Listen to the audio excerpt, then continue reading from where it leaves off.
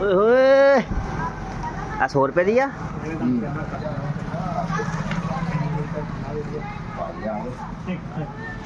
ਚੱਲੋ ਕਰਾਂਗੇ ਹਿਲਾ ਜਿਲਾ ਓਏ ਹੋਏ ਮੱਛੀ 20 ਰੁਪਏ ਦੀ ਆ 30 ਰੁਪਏ ਦੀ 40 ਦੀ 1000 ਰੁਪਏ ਦੀ ਮਿਸਰੀ ਵਾਹ ਭੈਣ ਚ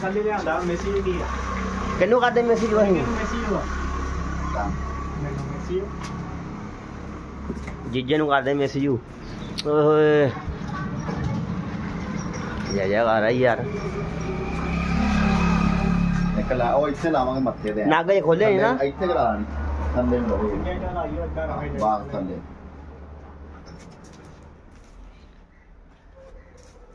ਆਇਆ ਗਾਗ ਬਈ ਸੇ ਦਾ ਕੋਈ ਅੱਜ ਤੱਕ ਹੈ ਹੀ ਨਹੀਂ ਵਧੀਆ ਸਹੀ ਆ ਆਂਦੇ ਰਹਿੰਦੇ ਆ। ਚੱਲੇ ਜਾਂਦਾ ਹਾਂ ਤੈਨੂੰ ਪਤਾ ਆ ਦਿਨ ਠੰਡ ਦੀ ਲੋਕੀ ਘੱਟ ਕੱਢਦੇ ਜਿਹੜਾ ਸਿਆਣਾ ਬੰਦਾ ਉਹ ਘੱਟ ਵਾ ਹੂੰ ਨਿਆਣੇ ਮਾੜੇ ਮੋਟੇ ਲਈ ਜਾਂਦੇ ਉਹ ਪੱਗੀ ਬਣੀ ਪਾਈ। ਜੈਡ।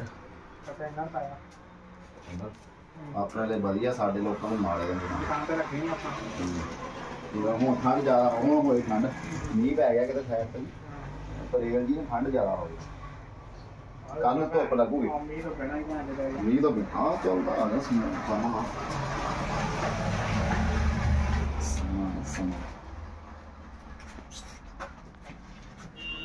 ਚੈੱਕ ਕਰੋ ਜੀ ਡਿਜ਼ਾਈਨ ਇਹ ਹੈਗਾ ਆਪਣੇ 30 ਕੁ ਰੁਪਏ ਦਾ ਪੀਸ ਲੱਗ ਜਾਏਗਾ ਤੁਹਾਨੂੰ, ਜੇ ਲੈਣਾ ਤੇ।